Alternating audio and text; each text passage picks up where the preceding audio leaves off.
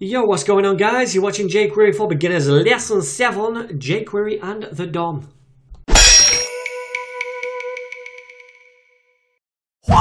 Okay then gang, so first things first, I just want to rewind a little bit and talk about what the DOM actually is in JavaScript. Now, the DOM stands for Document Object Model. And essentially, it is just a way to describe the relationship between elements, or tags if you like, on a web page and graphically it's represented by this tree-like structure here. Okay, so for example, we've got the HTML tag at the top of the tree. Under that, we've got the body tag. Then within that, we've got different tags such as the header, the div, the footer, and then under those, different tags as well, etc., etc. Okay, so it also gives us a way to reach into this tree and grab certain elements and also traverse this tree up and down to grab whichever element we want to retrieve, right? So for example, I could go in and grab this h1 in vanilla JavaScript by doing something like this. Document.getElementsByTagName, header, which is going to grab this element, then dot get elements by tag name again, h1, which is going to traverse the tree downwards to grab this element right here. Now, if you're anything like me, you're lazy and you don't want to do this over and over again in your scripts when you're grabbing elements from your web page. So this is where jQuery really, really excels.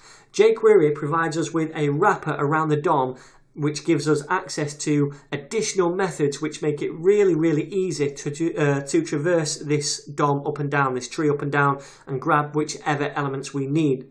So that's what this lesson is going to be all about. I'm going to go through a few examples of different methods jQuery provides us with to traverse this tree. Okay then class, as you can see, I've got the index up right here and I've got the script.js down below. Now, all this stuff commented out are the different methods that I'm going to go through one at a time, but I want to start with the next one right here. Now, the next method essentially grabs an element and then gives us the next element in line in the HTML structure. For example, in this one right here, let's just uncomment it.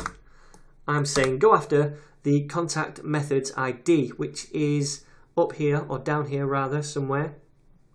There it is, this UL right here. And I'm saying get the next element in line, which is this image tag, right? Then change its CSS so that it's got a red border, 3 pixels and solid.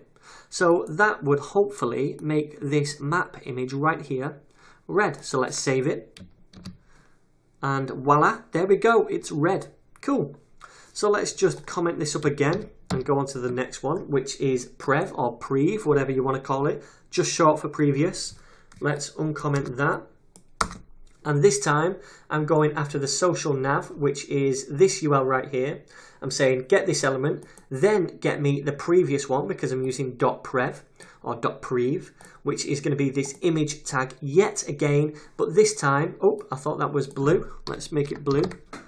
This time, make the border blue. Okay, I've just saved that, and there we go. It's made that image blue because that is the previous element, yeah? It's going up this time. Next goes down, previous goes up. Cool. So let's comment this again and go on to the next one, which is parent. Now, parent grabs an element and it finds its parent. So in this example, I've said, get me the banner title class, which is up here at the top somewhere. Yep, there it is, banner title. Now go and get me the parent element. So if we go up the tree one level, the parent is this wrapper. Give that a border which is 3 pixels solid and pink. So let's save this and scoot up the page right here. And now you can see this wrapper div has a pink border. Cool. And that is the parent of this banner title, yeah? Alright then, now Here's a cool trick. If we just add an S onto the end of there, we're making it plural, and we're saying get me all the parents of this banner title, right? Now this is the first parent, this is the second parent, or grandparent if you like, this is the third parent, and finally the body is the fourth parent. So we're getting all those different parents, and we want to give them all a border which is 3 pixels and pink, just by adding that S on. So let's save this right here and now we can see all those different elements with a border on. Okay, pretty cool, yeah? So let's comment that up again and move on to the next one, which is children. Now this one, as you would expect, gets all the children of an element. So I've said get the social nav, which is down here somewhere. There it is.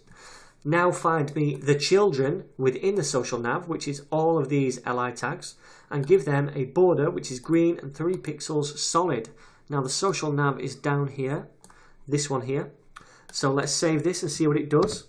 Okay, cool, it's given them all a green border. So that's the children method. Let's comment that up again. And the next one I want to show you is find. And I quite like find because it's really flexible. Essentially, what we do is first of all grab an element, which is contact in this case. So it's this section right here. Then I'm saying find within this section a class called Facebook, right? So if Facebook class exists within this section, bring that back to me, which it does, it's right here. And then I'm going to give that a border of purple, right? So let's save that. And now we get that Facebook element with a border of purple. Now you might be sitting there thinking, well, instead of find, why don't we instead just do this, contact.facebook. And yet that will work. This is going to have the same effect. If I save it, you see, it's still purple. But for performance issues, the find method is quicker. Okay, there's not a great deal in it, but I just prefer the find method. Cool, so let's comment that back up again and go on to this last method I want to show you, which is called closest. And what closest does is move up the DOM to find the nearest parent to match whichever element you put in here. All right, so I'm saying here, go and get me the social nav first of all, which is here. Then get me the closest parent, which is a wrapper class. So if we go up the DOM, first of all, we go up to this section. Now that's not a wrapper class. So we go up again and the parent of this is wrapper. So there we go. It's going to grab me that element. So it's going to give that a 3 pixel solid border which is orange. So let's save that. And there we go guys, we get that orange border. Cool.